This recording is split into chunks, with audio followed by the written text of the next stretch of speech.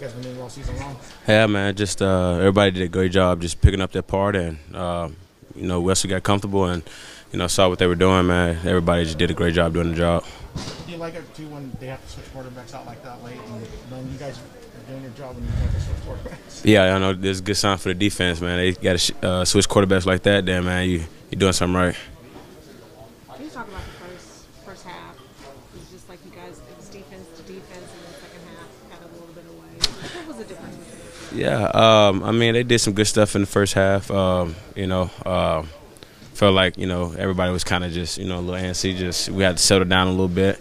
Uh, you know they're a great team. Uh, they they were a desperate team that needed to get the win uh, in order to get the playoffs, and we knew what they wanted to do. They wanted to run the ball, so uh, you know we had a you know from the start to the finish, really, you know, just had a great mindset of just stopping the run, and allowing them to be one dimensional, and uh, they just couldn't throw the ball after that. You think about this team how they're going eight in a row. The defense now is pretty much healthy. You got Kinlaw back. I mean, how scary is this team going to be in the playoff times? Uh, yeah, definitely. Uh, man, we got plenty of plenty of uh, room to improve, man. Like, um, you know, man, it, it always look good on the scoreboard, and when you know when you get the win, but you know you just got to be hard on yourself as a, as a as a team, man. In order for us to just you know be great and take that step we want to do, uh, want to be, then you know we got to stop it from scoring. You know what I mean? So I mean, just as a defense, you allow them to make 20, 20 points, man. You don't like it, so you just got to do better. Yeah, now I'm resting my body. Hang out.